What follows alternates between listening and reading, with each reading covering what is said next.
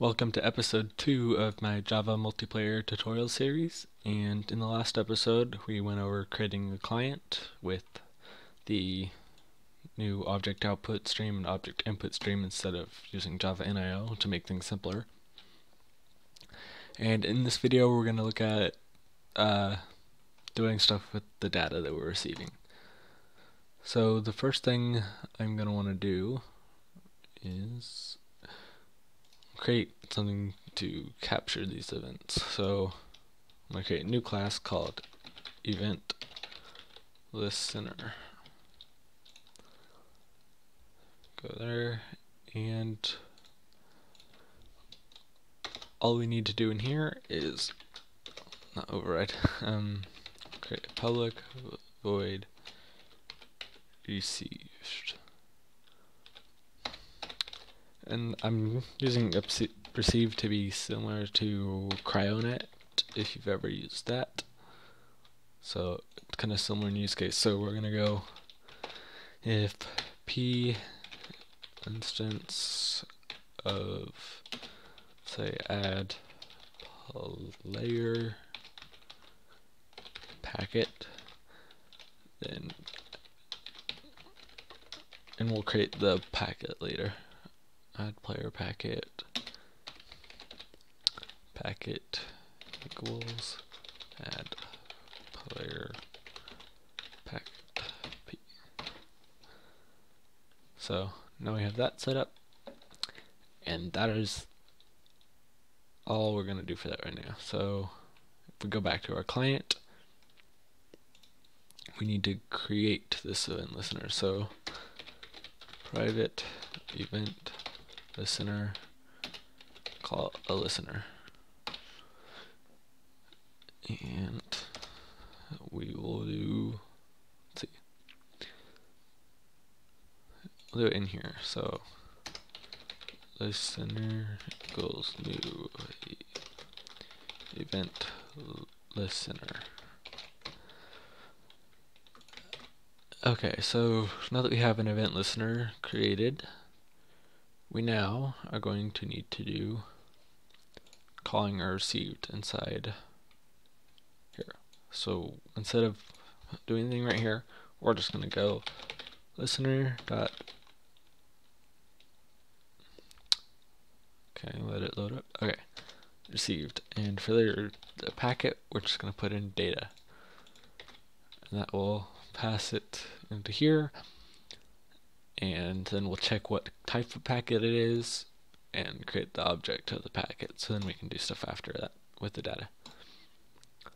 So now that we got that there, I think the only thing left we need to do in here and we're going to add this later is tell the server that we disconnected. So remove player packet packet equals new remove player packet. And oh yeah we don't have that created yet so we'll do that after. We're just gonna send the object. And we'll send our remove player packet before closing. And now the next thing we need to do is just create our packets. So one thing we need to make sure we do is create a new package for this.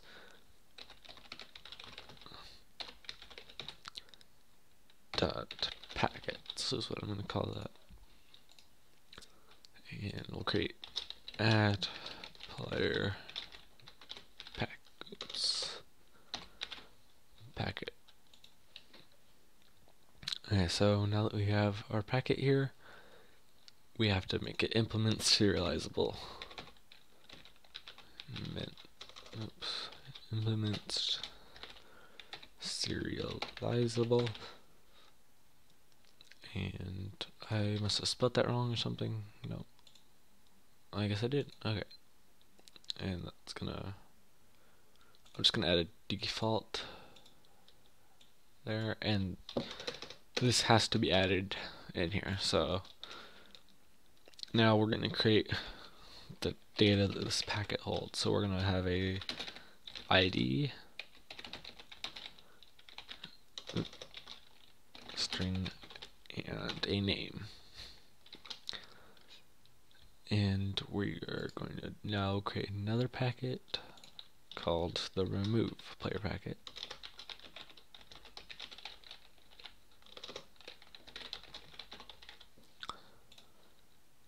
That, and I'm just gonna take this, do that, okay, and add a default. And now the only thing we're gonna need just for here is a public ID.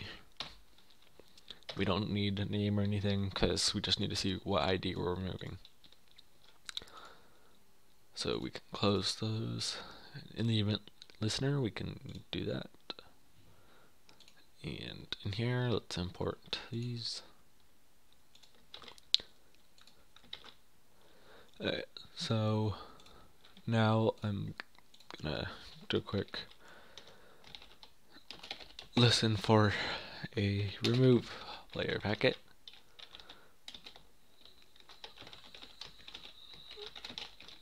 Oops. Alright.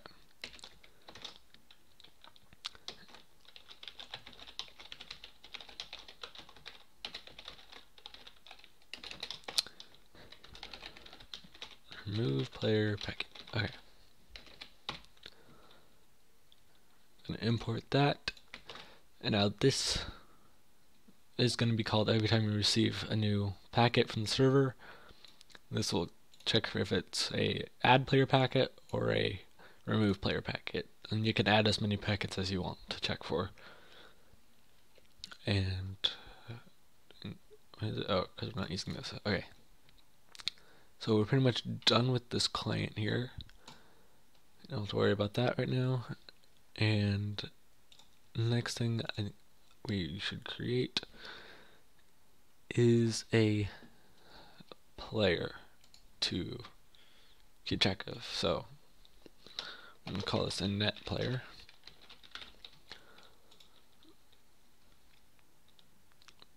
And actually, no, I'm not gonna do that. I might do that in a future tutorial, but uh, I think I think it'd be pretty simple just to keep track of um, hmm. Okay, so yeah, we actually I guess I have to go through this. Okay, so yeah, we'll create a net player.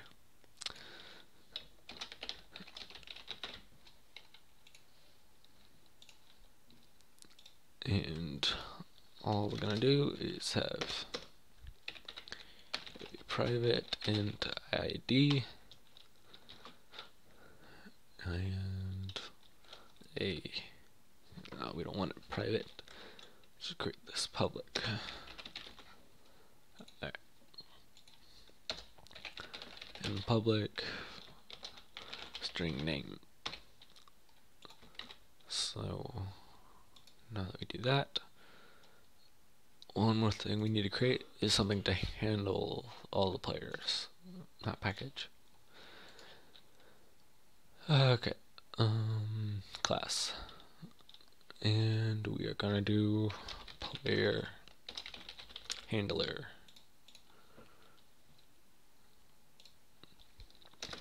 So for this, we will create a static to a hash map and an integer and a player.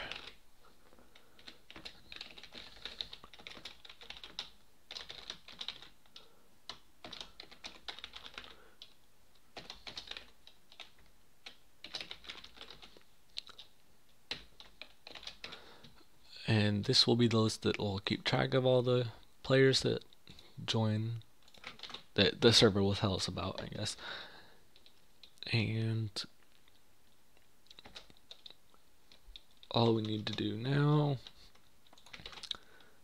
is an event listener. We are going to do player handler dot players dot put packet dot id and new net player.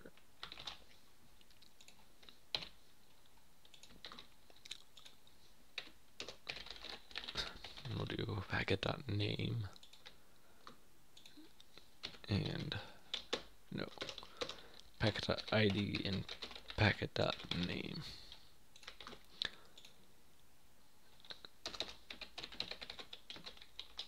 public and we just need to add a constructor here. That will take these in. Oops, so we have int id and a string name. So this is dot id equals id and this dot name equal, oops, equals name. Okay, I am really out of it today. Um, okay, that should work now. Yep. And now player handler dot players dot remove packet dot id. And now system.out.println. This will tell us when another player joins the server, or sorry, joins the game.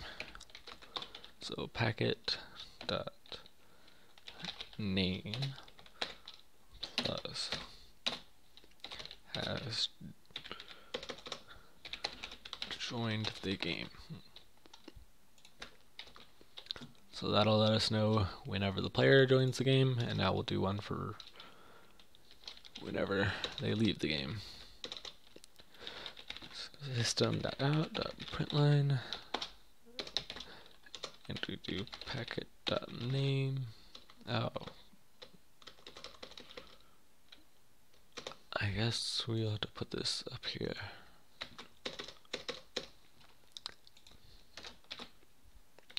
And we will have to do player handler players dot get id dot name. Oh I gotta go packet ID there we go. Plus and has left the game left. Okay. So now that we are handling packets, we got our player, and that's keeping track of our players. I think we're done with the client, right? Yep, I believe we are done with this client now. So that's going to be the, it for this video because I'm clearly totally out of it today. But so thanks for watching and please like and subscribe if you're enjoying my videos.